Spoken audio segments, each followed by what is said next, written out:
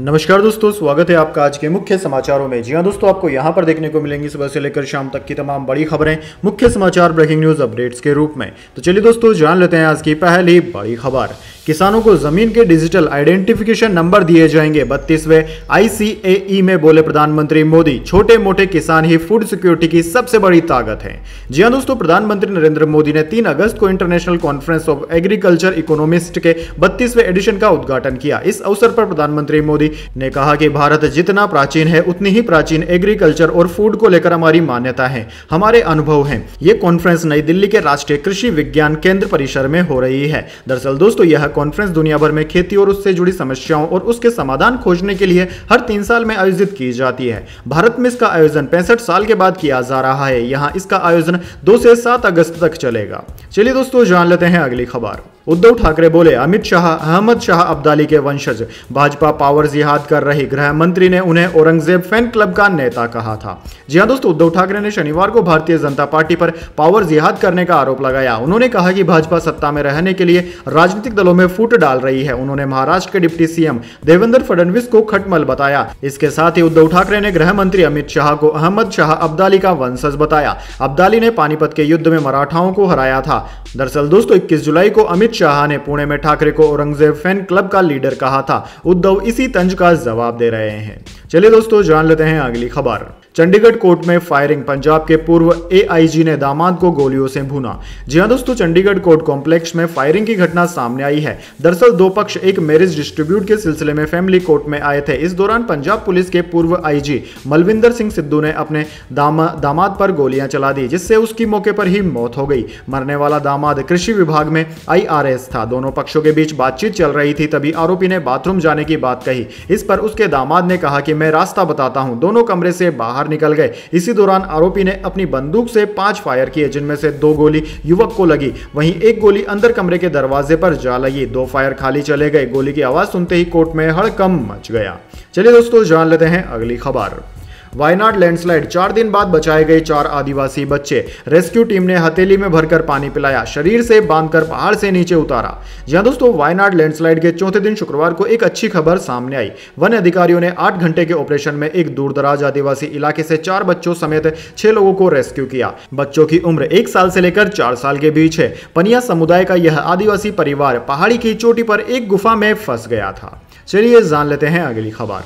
राजनीति में हर वक्त एक जैसा नहीं होता। जयपुर में झलका पूर्व मुख्यमंत्री वसुंधरा राजे का दर्द।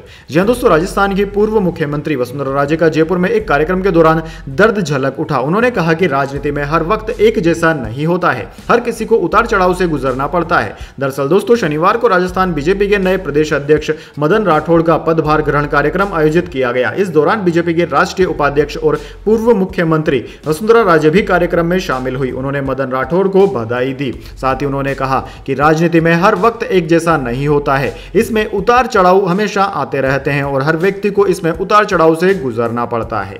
चलिए जान लेते हैं अगली खबर। भिवंडी कोर्ट में राहुल गांधी से जुड़े केस की सुनवाई। साल 2014 से चल रहा है मामला। राहुल गांधी ने महात्मा गांधी की हत्या को आरएसएस से जोड़ा था। जी हाँ दोस्तों, महाराष्ट्र के ठाणे जिला कोर्ट में शनिवार को राहुल गांधी के खिलाफ दायर मानहानि मुकदमे की सुनवाई हुई। राहुल गांधी पर आरोप है कि उन्होंने छह मार्च दो हज़ार चौदह को भिवंडी के पास सभा में महात्मा गांधी की हत्या से आरएसएस को जोड़ा था। राहुल के खिलाफ आरएसएस के राजेश कुंटे ने मानहानि का केस दायर किया था। कोर्ट ने राहुल गांधी को आईपीसी की धारा चार और पाँच के तहत आरोपी बनाया था। तीन जून 2024 को भिवंडी मजिस्ट्रेट ने कुंटे के दिए गए कुछ दस्तावेजों को रिकॉर्ड कर लिया था। राहुल गांधी के भाषण की कॉपी को सबूत के तौर पर स्वीकार कर लिया गया था। इसके आधार पर मानहानि का मामला दायर किया गया था। चलिए दोस्तों, जान लेते हैं इसके बाद अगली खबर। मुख्य न्यायाधीश बोले, लोग सेटलमेंट करके कोर्ट से छुटकारा चाहते हैं, क्योंकि प्रोसेस ही पनिशमेंट जैसा लगता है। हम निपटारे की जगह बेहतर रिज़ल्ट देने की कोशिश करते हैं। जी हाँ दोस्तों chief justice of India CJI DY Chandrachud ने शनिवार को कहा कि लोग कोर्ट के मामलों से इतने तंग आ जाते हैं कि वे बस सेटलमेंट चाहते हैं। कोर्ट का प्रोसेस पनिशमेंट जैसा लगता है। यह जज के रूप में हम सभी के लिए चिंता का कारण है। सीजीआई ने कहा कि हम कोशिश करते हैं और कहते हैं कि हम सेटलमेंट नहीं करेंगे, बल्कि हम आपको बेहतर रिज़ल्ट देंगे। चंद्रचूड़ ने कहा कि जब बी आर अंबेडकर जैसे दिग्गजों ने संविधान बनाया था तो उन्होंने इसे एक मिशन के साथ बनाया था। चलिए दोस्तों, जान लेते हैं अगली खबर। केंद्र ने बीएसएफ चीफ और डिप्टी चीफ को हटाया। होम कैंडर भेजे गए। नितिन अग्रवाल कार्यकाल पूरा न करने वाले पहले डीजी बने। जी हाँ दोस्तों, केंद्र सरकार ने शुक्रवार को देर रात बॉर्डर सिक्योरिटी फोर्स बीएसएफ के डायरेक्टर जनरल नितिन अग्रवाल और deputy special director general Yogesh Bahadur Khurania को पद से हटा दिया है। दोनों को अपने अपने होम कैडर नितिन अग्रवाल को केरल और खुरानदिया को ओडिशा रिपोर्ट करने के लिए कहा गया है। हालाँकि दोनों टॉप अधिकारियों को हटाने की आधिकारिक जानकारी अभी सामने नहीं आई है। फ़िलहाल दोस्तों एसएसबी के डीजी दलजीत सिंह चौधरी को बीएसएफ के डीजी का अतिरिक्त प्रभार दिया गया है। नई नियुक्ति होने पर चौधरी कामकाज संभालेंगे। वैसे दोस्तों, यह बात सामने नहीं आई है कि इनको कार्यकाल पूरा होने से पहले ही क्यों हटा दिया गया। चलिए दोस्तों, जान लेते हैं अगली खबर। मुसलमान लव जिहाद करते हैं। ईसाई धर्म परिवर्तन। द्वारका के शंकराचार्य स्वामी सदानंद सरस्वती बोले, हर राज्य को यूपी जैसा कानून लाना चाहिए।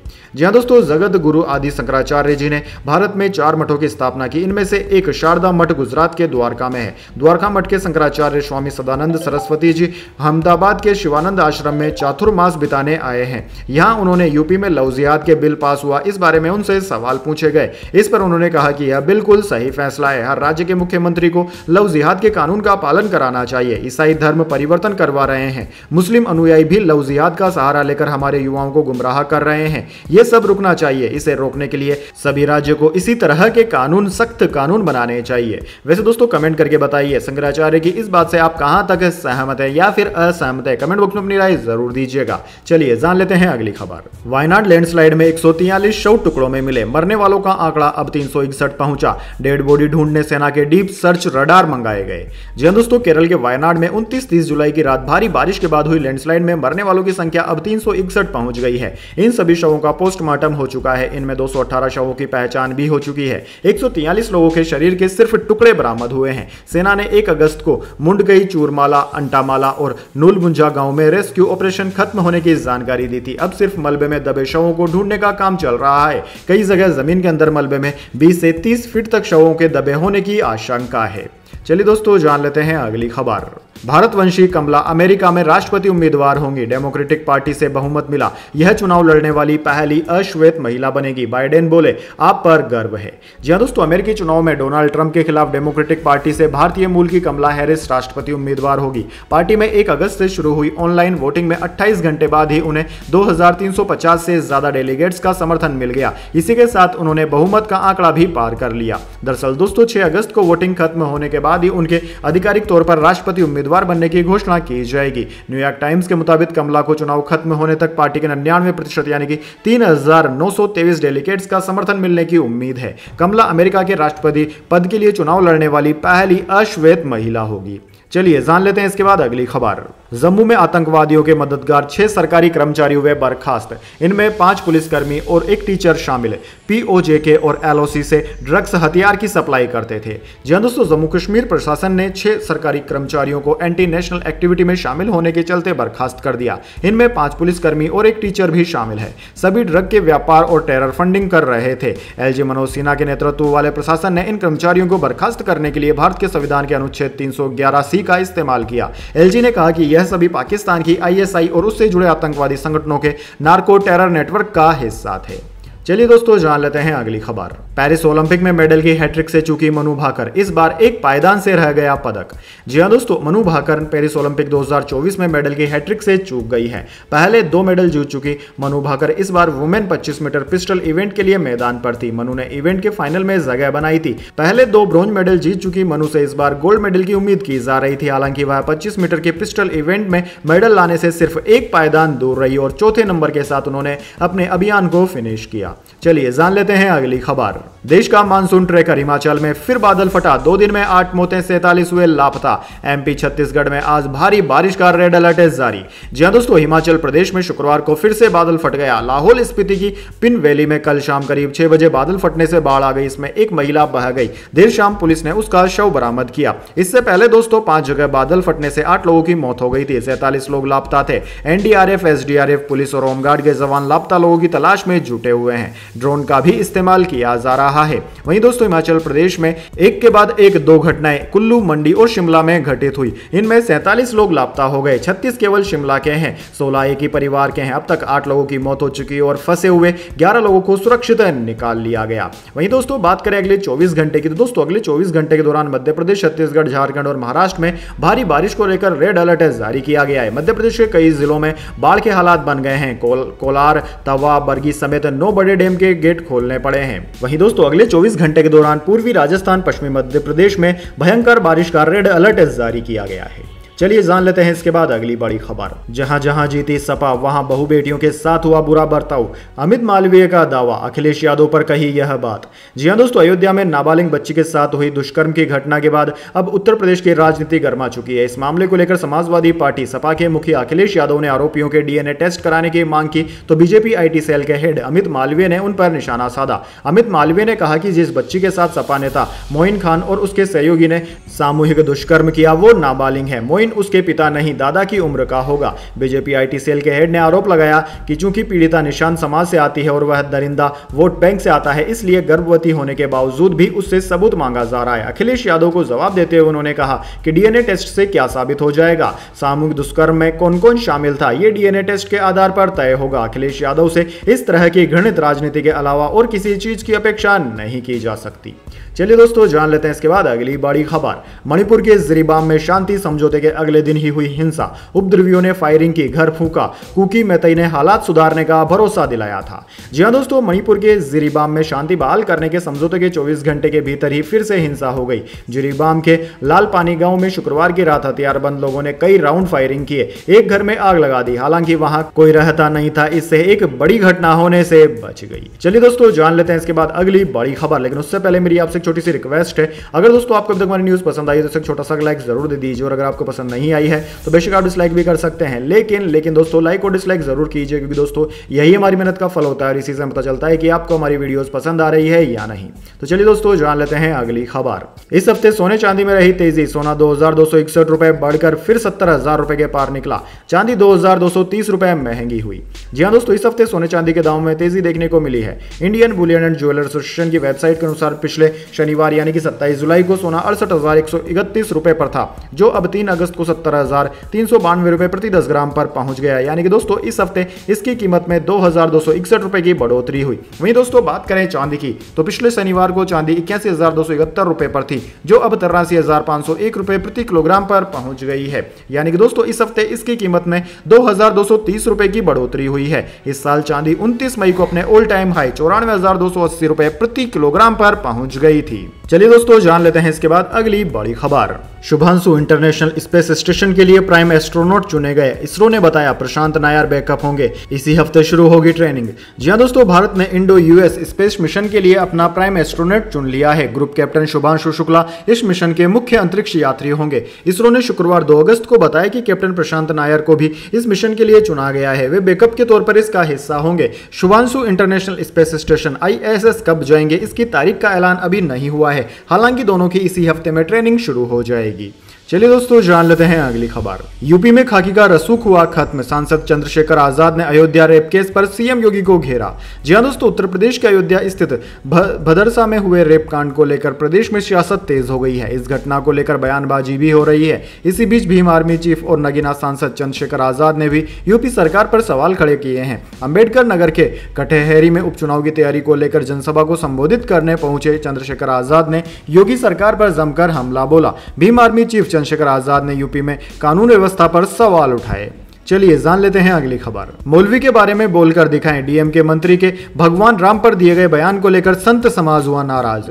जी हाँ दोस्तों, तमिलनाडु के मंत्री एस एस शिवशंकर के भगवान राम पर दिए गए विवादित बयान पर संत समाज ने नाराज़गी ज़ाहिर की है। पातालपुरी पीठाधीश्वर के अध्यक्ष महंत बालकदास ने तीखी प्रतिक्रिया दी। उन्होंने कहा कि इस मंत्री संतरी को न इतिहास का पता है और न ही भूगोल का। इन लोगों को धार्मिक ज्ञान भी नहीं है। ये लोग हर बयान अपनी राजनीतिक रोटियाँ सेकने के मकसद से देते हैं, जो मुँह में आता है बोल देते हैं। इन लोगों की मूर्खता अपने चरम पर पहुँच चुकी है। ऐसे लोगों को भगवान सद्बुद्धि दे। इन लोगों का पार्टी में रहना भी उचित नहीं। ये लोग मंत्री बने बैठे हैं, लेकिन इन लोगों को राम जी के इतिहास के बारे में कुछ नहीं पता। चलिए, जान लेते हैं अगली खबर। दावा, ईरानी एजेंट्स ने ही करवाई हानि, यही की हत्या। इंटेलिजेंस अफसर समेत चौबीस हुए गिरफ़्तार। इसराइल ने गेस्ट हाउस के तीन कमरों में लगवाए थे बम। जी हाँ दोस्तों, हमास चीफ इस्माइल हानिये की मौत के मामले में ईरान ने 24 लोगों को गिरफ़्तार किया है। इनमें ईरान के कई इंटेलिजेंस अफसर सैन्य अधिकारी और गेस्ट हाउस का स्टाफ शामिल है। यह वही गेस्ट हाउस है जहाँ हानिये पर हमला हुआ था। दरअसल दोस्तों न्यूयॉर्क टाइम्स के मुताबिक ईरान ने हानिये की सुरक्षा में चूक को देखते हुए यह गिरफ्तारियाँ की है। दरअसल दोस्तों, हानिये ईरान के राष्ट्रपति मसूद पजकशियान के शपथ ग्रहण समारोह में शामिल होने के लिए पहुँचा था। वह जिस गेस्ट हाउस में ठहरा था, उसकी सुरक्षा की ज़िम्मेदारी ईरान की सेना आईआरजीसी के पास रहती है। चलिए, जान लेते हैं इसके बाद अगली खबर। भूल भुलैया तीन की शूटिंग हो गई पूरी। कार्तिक आर्यन ने वीडियो शेयर कर दे दी, इस जानकारी बोले, इस साल दिवाली पर मिलते हैं। जी हाँ दोस्तों, मोस्ट अवेटेड फ़िल्म भूल भुलैया थ्री की शूटिंग पूरी हो गई है। इस बात की जानकारी फ़िल्म के लीड एक्टर कार्तिक आर्यन ने वीडियो शेयर करके दी। इस वीडियो के साथ कैप्शन में आर्थिक ने लिखा, इस दिवाली पर मिलते हैं। जी हाँ दोस्तों, कार्तिक ने जो वीडियो शेयर किया है, उसमें फ़िल्म के डायरेक्टर अनीस बजमी एक्शन बोलने से पहले पूरी टीम को शांत रहने के लिए कहते हैं। लेकिन तभी कार्तिक उन्हें टोकते हुए कहते हैं कि यह एक्शन नहीं, बल्कि रैप अप है। चलिए जान लेते हैं इसके बाद अगली बड़ी खबर। रोहित बतौर कप्तान सबसे ज़्यादा सिक्स लगाने वाले भारतीय बल्लेबाज बने। अश्लंका ने लगातार दो विकेट लेकर मैच टाई कराया। सिराज ने निशंका का केच छोड़ा। जी हाँ दोस्तों, भारत और श्रीलंका के बीच वनडे सीरीज़ का पहला मुकाबला टाई हो गया। अब वनडे सीरीज़ के नतीजों के लिए बाकी के दो मैच ज़रूरी हो गए हैं। दूसरा वनडे चार अगस्त को कोलंबो में ही खेला जाएगा। वहीं दोस्तों, भारत ने टी सीरीज़ तीन ज़ीरो से अपने नाम कर लिए। शुक्रवार को रोमांचक मुकाबले में श्रीलंका ने टॉस जीतकर बैटिंग चुनी थी, जिसमें श्रीलंका ने मैच को टाई कराने में कामयाबी हासिल की। वहीं दोस्तों, इस मैच में कई रिकॉर्ड भी बने, जिनमें एक रिकॉर्ड है भारतीय कप्तान रोहित शर्मा के नाम। जी हाँ दोस्तों, भारतीय कप्तान, बतौर कप्तान ऐसे पहले भारतीय बन गए हैं जिन्होंने सबसे ज़्यादा छक्के लगाए हों। चलिए दोस्तों, जान लेते हैं अगली खबर। अभिनेत्री अतिया शेट्टी और क्रिकेटर के राहुल ने चैरिटी की शुरुआत की। जरूरतमंद बच्चों के लिए उठाया कदम। एम एस धोनी और विराट भी देंगे साथ। जी हाँ दोस्तों, एक्ट्रेस अतिया शेट्टी और क्रिकेटर के राहुल ने एक चैरिटी वेंचर की अनाउंसमेंट की है। इस चैरिटी वेंचर का नाम क्रिकेट फॉर कोज रखा गया है। दोनों ने इस वेंचर की शुरुआत विप्ला फाउंडेशन के लिए धन जुटाने के लिए किया है। दरअसल दोस्तों अतिया और राहुल के साथ क्रिकेट जगत के कई मशहूर लोग भी इस वेंचर में शामिल हुए हैं। इस लिस्ट में विराट कोहली एम एस धोनी, राहुल द्रविड़, रोहित शर्मा जसप्रीत बुमराह, सुरेश अय्यर, यजवेंद्र चहल, ऋषभ पंत, संजू सैमसंग, रविंदर जडेजा जैसे खिलाड़ियों का नाम शामिल है। चलिए दोस्तों, जान लेते हैं अगली खबर। अनुराग कश्यप ने की साउथ सिनेमा की तारीफ़। बोले, बॉलीवुड रियल कहानियों की बजाय स्टार पावर पर निर्भर करता है। पैसे की बर्बादी भी होती है। जी हाँ दोस्तों film maker actor Anurag Kashyap ने बॉलीवुड पर एक बड़ा बयान दिया। कश्यप ने कहा कि बॉलीवुड अक्सर असली कहानी की बजाय स्टार पावर पर निर्भर रहता है। यही वजह है कि साउथ की फ़िल्में बॉलीवुड से बेहतर प्रदर्शन कर रही है। इंडियन एक्सप्रेस को दिए इंटरव्यू में कश्यप ने कहा कि बॉलीवुड में स्टार पावर पर ज़्यादा ध्यान दिया जाता है, जबकि साउथ की फ़िल्म इंडस्ट्री असली कहानियों पर ध्यान देती है। उन्होंने द हिंदू से बातचीत में फहाद हासिल की फ़िल्म आवेशम की सराहना की और कहा कि इस फ़िल्म के मेकर्स ने मुख्य भूमिकाओं में तीन इन्फ्लुएंस को कास्ट करने में कोई हिचकिचाहट नहीं दिखाई। बॉलीवुड में ऐसी भूमिकाओं के लिए बड़े सितारे ही होते हैं, जो केवल स्टार पावर पर ध्यान देते हैं। चलिए दोस्तों, जान लेते हैं अगली खबर। हिमाचल में बारिश का कहर, प्रदेश की सड़कें जाम। इंडियन मेट्रोलॉजी डिपार्टमेंट ने मौसम को लेकर दिया नया अपडेट।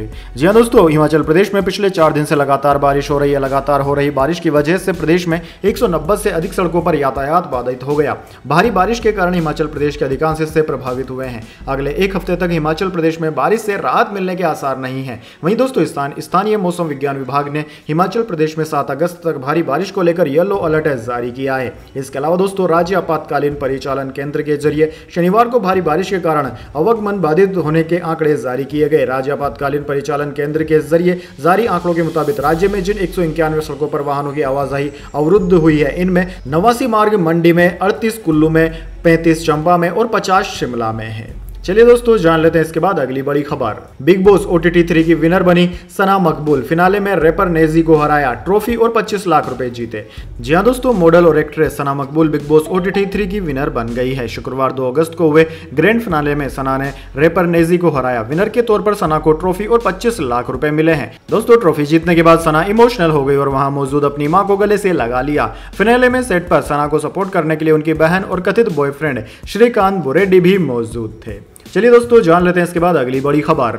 हरियाणा में घर बनाने के लिए नए नियम लागू, चार मंजिला बिल्डिंग बना लेने वालों को 60 दिन की मोहल्लत जी हाँ दोस्तों, हरियाणा में कई मंजिला मकान बनाने का प्लान बना रहे लोगों को नए नियमों की जानकारी होना ज़रूरी है। हाल ही में दोस्तों, निर्माण स्वीकृति प्रक्रिया को सुचारू बनाने के लिए हरियाणा डिस्ट्रिक्ट और टाउन प्लानिंग ने स्टल्ट प्लस चार मंजिला इमारतों के लिए एक नई मानक संचालन प्रक्रिया जारी की है। अधिकारियों के अनुसार एसओपी के अंतर्गत संपत्ति मालिकों को हरियाणा बिल्डिंग कोड विनियमों के तहत 60 दिन के भीतर अधिभोग प्रमाण पत्र के लिए आवेदन करना अनिवार्य कर दिया गया है। इसके अलावा जल्द ही चार मंजिला इमारतों की मंजूरी प्रक्रिया को सरल बनाने के लिए एक नया पोर्टल भी लॉन्च किया जाएगा। दरअसल दोस्तों, दो जुलाई को जारी किए गए नए नियमों और शर्तों के तहत स्टल्ट प्लस चार मंजिल निर्माण की अनुमति दी गई है और दस मीटर या उससे अधिक चौड़ी सड़कों पर स्थित इमारतों के लिए मानचित्र अनुमोदन की अनुमति प्रदान की जाएगी, जिससे निर्माण कार्य को मानकीकृत करने और बिल्डिंग कोड का अनुपालन सुनिश्चित करने का उद्देश्य पूरा किया जा सके।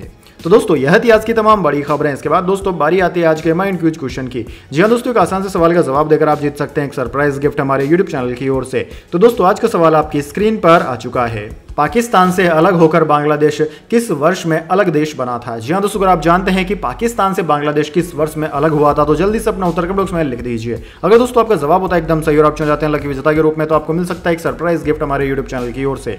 तो दोस्तों, जल्दी से अपना उत्तर बॉक्स में लिख दीजिए, वीडियो लाइक कर लीजिए और चैनल को सब्सक्राइब करके बेल आइकन भी दबा लीजिए। धन्यवाद। वंदे मातरम। जय हिंद, जय भारत।